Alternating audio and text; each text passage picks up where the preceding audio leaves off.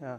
So as like today we have the International Refugee Day and this day is not uh, because of where I fled from. So it's the international day because in the Europe before we had also uh, world wars and stuff. So the people migrated to America and to other safe places.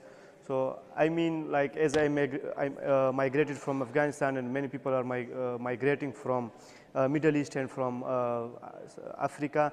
So we all have problems in our countries and I hope that if we come here like not only me like from all over the world if the refugees are coming. So it means we have to uh, we have to uh, respect them and we have to give them the same rights that we are giving to the other peoples like especially now for the Ukrainians in Europe they have completely different uh, rights and for us as an Afghan or you are from Africa or you are from Middle East so they don't give us the same rights. Actually I'm happy for the Ukrainian refugees that they are not facing the problems that I face that uh, you can see and you can watch that in my two documentaries. So I hope the same rights for all the refugees uh, and we sh should care for each other and we should give the same rights to everybody.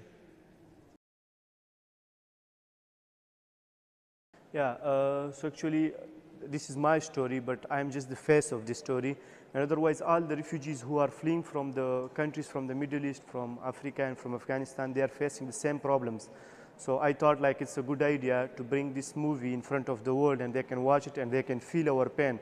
And when, I, uh, when we made the movie and then the many refugees watch it and they were saying like we have the same stories and they were thanking me and the directors because everybody wants to, uh, to show, for example, their reality like how did they come and how they are waiting for their asylum procedures and stuff and the way like the immigration offices and the services, they don't trust their stories. So yeah, it was also good for me and still I'm like really happy that I did it and uh, everybody likes it and uh, that's why I'm here today in, in Italy and Bologna.